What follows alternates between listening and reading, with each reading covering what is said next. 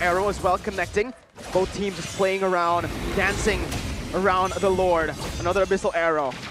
Not connecting. Geek Fam, Chadera needs to go to the mid lane, clearing out the minion waves right now. As Geek Fam are able to actually force the reset onto the Lord Samo. Flickering out, circling Eagle onto Drea, bringing him back. 40 hash chain to connect. Knockup coming in. Chadera picks up the kill. Those Janna. But still, it's a 1-4-0. Chadera will have to go down below to the bottom side with Boots slow pushing away. Luke connect. Knockup coming in. Chadera picks up the kill. Knows Janna. But still, it's a 1-4-0. Chadera will have to go down below to the bottom.